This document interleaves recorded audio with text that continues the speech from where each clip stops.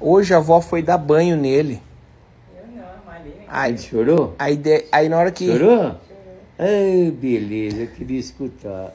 Mas ele não é escutar chorão, porque- não. Ele é bem Porque assim, a sossegado. gente já tem certeza que ele já nasceu na hora. Nasceu na Não hora. Nasceu fora de hora. Nasceu fora de hora. É, isso aí é uma coisa importantíssima na criança. É mesmo? Escutar chorar, é. É mesmo? Então, se, se, se a sua avó já falou que ele chorou, então tá, já estou contente.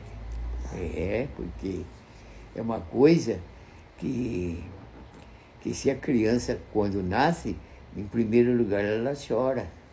É. Se ela não chora, é só dar um tapa na, na bundinha dele que ele chora.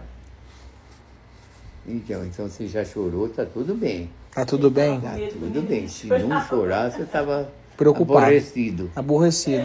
É. Mas como ela já falou, aí ele chorou, então tudo bem. Aí eu já estou contente. Ele não é chorão, né? Se Só Deus um quiser. Ele mama bem? Mama bem. Hã? Mama bem. Oh, então tá ótimo. Outra coisa que precisa observar essas coisas. Se ele tá mamando bem, tudo, porque se ele não Mama bem, mamando bem, então porque ele não está satisfeito. É, não, mama bem. Mas se ele tá mamando bem, então ele fica satisfeito. É. É, tem todas essas coisas. Então, eu